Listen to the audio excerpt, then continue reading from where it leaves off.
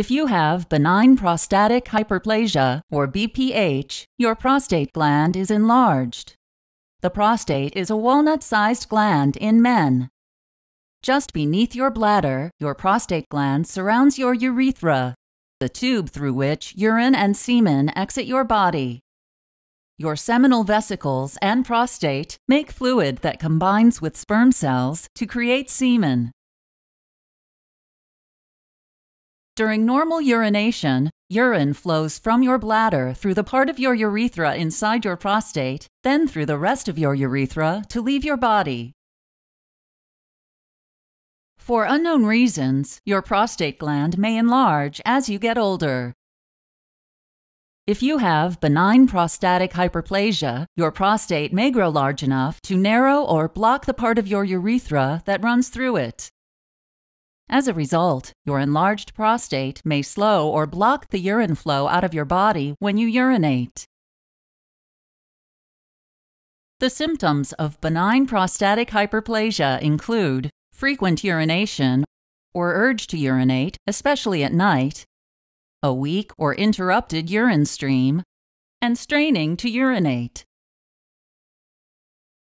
Over time, untreated benign prostatic hyperplasia may cause the following complications inability to urinate, damage to your bladder and kidneys, bladder infections, bladder stones, and urine leakage called incontinence.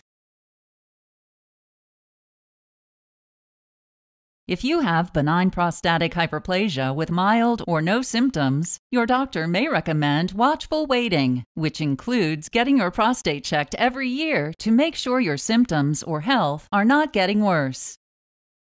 If you have moderate symptoms that bother you, your doctor may recommend medication, such as alpha blockers.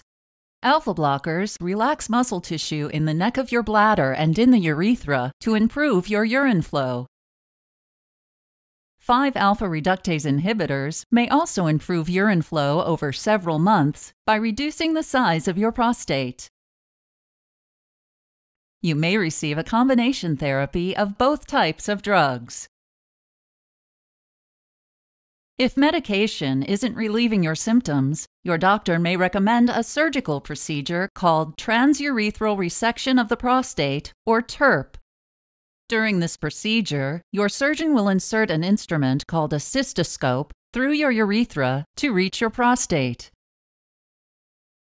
Then, a wire tool called a resectoscope will be inserted through the cystoscope to shave off tissue, which will widen your urethra.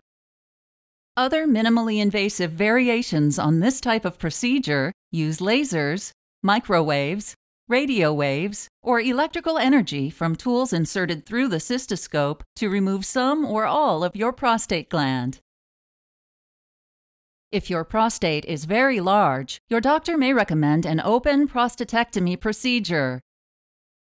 In open prostatectomy, your surgeon will make an incision in your lower abdomen. After exposing your prostate, your surgeon will make an incision in its outer capsule. Next, the tissue inside your prostate will be removed, and the capsule incision will be closed with sutures. Finally, your skin incision will be closed with sutures or staples. You can't prevent benign prostatic hyperplasia, but the following lifestyle changes can make your symptoms less severe. Avoid medication that can make it harder for you to urinate such as antihistamines and decongestants. Stop drinking fluids for a few hours before bedtime. Avoid drinking alcohol or fluids that contain caffeine. Try to empty your bladder by double voiding. To double void, urinate, wait a few minutes, and then try to urinate again.